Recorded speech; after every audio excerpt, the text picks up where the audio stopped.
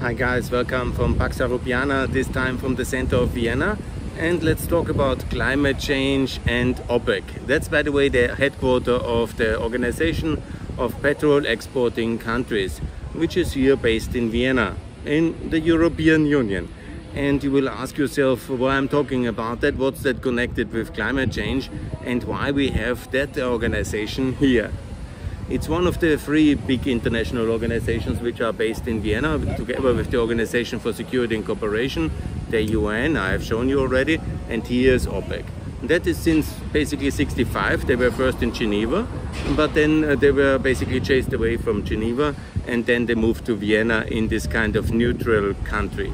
But we are no longer a neutral country, and we very much believe in competition law, because that's what the European Union is about it's about competition law very much, about the equality between companies and against cartels, monopolies and uh, this kind of price fixing situations. Uh, that's the fundament of the European Union. But by Austria joining the European Union, also this headquarter has joined. Uh, and I think it's time to say very clearly that uh, this organization is no longer welcomed in Europe and in the whole European Union because you cannot be a monopoly like OPEC and then continue to say, yes, it's all fine, yeah, it's just, you know, our friends here.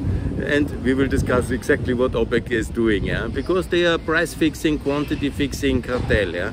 And that's really, and they're also pushing petrol. And we are for um, against uh, against climate change, and we are for decarbonization. So, and I think also climate change is a big, big problem. I don't think it's the most important global problem. I think uh, war and peace is the most important and then economics, good economics, that we can have a good livelihood for all the 8 and maybe in the future 12 billion people. And that's I think the, what the scientists think is the maximum capacity uh, which will be achieved by the end of the century. 12 billion and so we need an economic system that is sustaining such a population. These are the two most important and we need to have of course a planet which uh, can cope with the task and so it's very important that we also address climate change and we decarbonize. And now my question, if we want to decarbonize, why is OPEC here? This I cannot understand. Obviously I understand uh, the color of money. It's very much uh, positive for Vienna because a lot of the sheikhs and the countries they have then later invested in beautiful embassies and beautiful five-star hotels. And now the Vienna is one of the hub of investments of the Arab money, which they basically illegally, uh, basically it's illegally, okay, they are a government organization, they can do it. But they squeeze it from the uh, world consumers, not just from the rich countries. But it's basically only 25 or 30 countries which are exporting petrol in significant amounts and everybody needs it of the 200 countries. Obviously, the Americans are now the biggest uh, petrol producer and China is also a significant petrol producer, so things have changed. But these 13 countries which are member here, together with the 12 countries which are basically part of this Vienna OPEC Plus agreement, which has, um, they have done in 2008, with the active support of the Austrian government at that time, they have created a super cartel, including Mexico and worst of all China, obviously. Yeah? no, no, Russia, so Russia. I wanted to make obviously a case about Russia.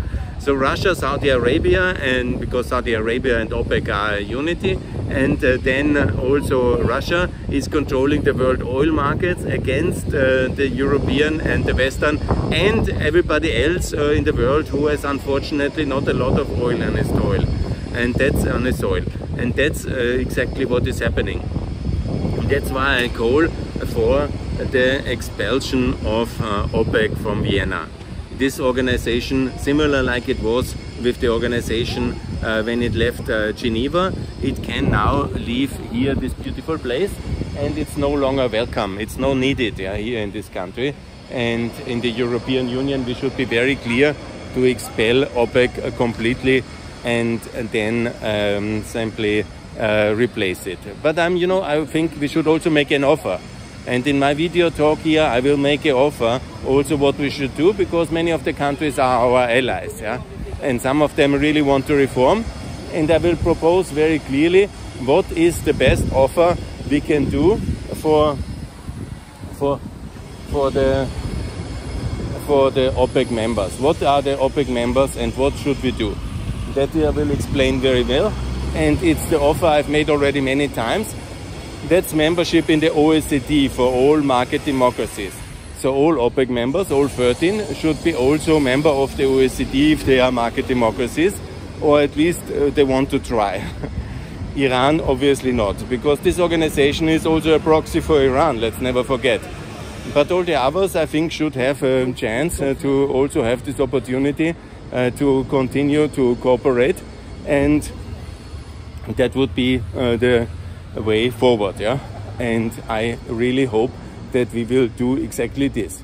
You see already here, this is of course the Austrian Stock Exchange. I will give you, and here is the headquarters of the European Union. This is basically the way it is done here. This is, seems to be the embassy of Saudi Arabia, and this is the former stock exchange of Vienna. Here I will show you in a second that you have everything united here in this beautiful place. Yeah and here is the house of the European Union and it's very convenient next to OPEC. So OPEC and the house of uh, uh, the European Union are two organizations which are totally with different principles. The one is a cartel to squeeze world consumers uh, for the benefit of few autocrats and dictatorships and the other one is the highlight of the European peace project the European Union very much built uh, against monopolies and here's OPEC. that they are next to each other, I actually was not aware, but it's very telling uh, this kind of uh, balancing dual complicity which Austria is so famous for. Because on the one hand we say that we are a really good European Union country, on the other hand we are really great uh, for, for Russia and for everybody else to make great business in Vienna use the infrastructure, use the jurisdiction. We uh, have no problem with OPEC next to the European Union because in Austria, as long as you pay and you keep the minimum compliance rules, you can do whatever you want. If not, of course, not criticizing the Austrian institutions complicitly and T2S kind of uh, balancing act between the world powers because we are neutral and so we are the light of peace. we have invented peace and for the rest we don't care as long as it pays. That's the consensus of Austria in the post-war world and I'm not uh, very happy about it. Yeah? So let me talk about uh, this um, uh, OPEC, what it is. This uh, 13 organizations, 12 more, and so it's 25 organizations. And they are an enormous price-fixing cartel at the cost of world consumers and uh, we should actually protest against it and I'm doing that. I was calling already in the media for complete decarbonization of transport sector. Yes, we should not have any cars anymore uh, with uh, diesel or petrol by 2030. New cars? No. no new cars, only electric. And OPEC will be squeezed. And Russia and Saudi Arabia and Iran will have less money. Very good. that is a climate change measure I really 100% endorse. No cars, no public transport anymore with diesel, then, you know, maybe make a five years transition, 2035 for the older cars. Yes, you know, you know, you have to respect the investment of the people. Tell them now there will be no petrol powered cars anymore. There will be no carbon anymore in uh, mobility in the European Union by 2030 new ones and 2035 uh, the old one should be gone as well and 2040 full phase out only for specific maybe for agricultural machinery or some old timers with special permits and stuff like that so that's i think a very logical uh, way to be really european to uh, save the climate and also squeeze the dictators because that's what it ultimately is about so good. And then obviously, what is the offer to the OPEC? Because some of the countries are our allies. I mean, Iran is our enemy. Saudi Arabia is our ally. So we have also Gabon and you know Congo and this. So my offer is very much. All the countries, all the 13 countries should be member of OECD on an observer basis in the beginning, and then when they democratize and when they uh, start uh, to be, um, and obviously with the exemption of Iran, that's no go. That's a terrorist dictatorship. That's the first offer to make, yeah. And also the others, yeah. The OECD members cannot be at the same time in OPEC. or Mexico should be reprimanded. Yeah, you cannot be in OPEC at the same time uh, in OECD. That must be very clear. That's a hostile organization. OECD is a hostile organization to the global taxpayers, to the consumers of the free world. It's squeezing out the profits and the, the, the additional profits on the cost of consumption of uh, carbon and it is absolutely funding uh, Russia, uh, Iran, and this kind of regimes. And uh, also Saudi Arabia does a lot of things which are not so cool. Yeah? Let's never forget that one. And the sheikh there, who is running the crown prince, uh, has three boats of 450 million and uh, whatever kind of extravaganza because of that organization. Yeah? And you know, in the beginning, in the 60s, when they founded it in Baghdad, there was some justification that the Anglo-Saxon and the French uh, uh, petrol companies were no, uh, monopolizing the world. But we have fixed that. so fix your mess as well. So kick it out offer them to join OECD. And then also for Austria, because Mr. Kurz, he loves obviously to have international organization, and there is also some case. And you know, this would be a wonderful headquarter for the African Union and for the Gulf Cooperation Council. They can separate the building and then they can have half of it for the Gulf Cooperation Council and half for the African Union. And they can make meetings together here wonderfully and then be accredited to the European Union exactly here. And that's the logic of um, the, there will be additional European uh, uh, international organization. The African Union, that's a very good organization, yeah? The European Union, that's a very good organization, yeah? They can do that and they should do that and that's absolutely wonderful thing to do and that's absolutely fine and i have no problem with exactly that yeah and then i say yes perfect huh?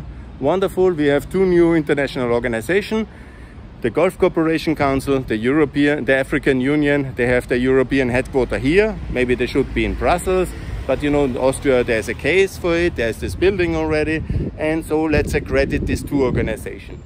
But OPEC cannot stay. OPEC, no way. and that's absolutely wrong and it has to go. It should be dissolved uh, ultimately. And uh, this kind of oil fixing cartel has to be fought by the European Union as one of our principal opponents. Because you know we are about consumer protection about competition law. We are against uh, carbon. This is the carbon uh, lobby of the world. If ever there is a carbon lobby then it's here So tell me any reason why they should be here, but you know, because they are already here, and additionally, it is very profitable for Austria to have them because they attach a lot of investment in the Austrian economy. Yes, okay, but that's a typical kind of uh, argument for the wrong uh, reasons, yeah, because we are not um, a kind of um, carbon complicity situation. Yeah? We should remove them. OPEC has to go. You know, it's very, very wrong organization. It costs the global economy trillions, and it is absolutely wrong. There's no reason for that organization to be here. And it has to be, and the way it, it's done basically is that the, um, the like the Swiss have, have done it in 65, you withdraw the international status. Austrian parliament makes a decision, withdraws the international status of OPEC, and then we offer at the same time to uh, transform it for the African Union and for the uh, for the for the um, Gulf Cooperation Council, obviously, and at the same time also the EU and the US to make the offer of OECD membership to all the good guys of this 30 plus 12, 25. Of course, not Russia, of course, not Iran, of course, not China, but everybody else, I think, uh, can at least have some assistant form of membership for the uh, OECD as a replacement. Yes, but it will all not happen because in Austria we love to talk against climate change. Yeah, that is really wrong. But we love the color of money as well. And we love obviously then to keep uh, this money here. And we love obviously also to have Nord Stream 2 whenever we are against climate change and against carbon. But carbon in the form of Russian gas we really like very much in Austria that's of course a different thing. Or, you know, um, OPEC as well is wonderful thing to have. We really love it. And so that's the situation of this kind of um, duplicity of the Austrian system. Goodbye to OPEC now. It's time to leave. Thanks a lot. Uh, I will talk more about it. I have made already a presentation about the problems of Austrian energy politics, always dependent on Russia and on OPEC, and our role in that one and why it should be changing. And I will do more about it. But that was my main goal here now to end OPEC and say goodbye. Goodbye, OPEC. It's time to go. Thanks a lot for listening. Bye.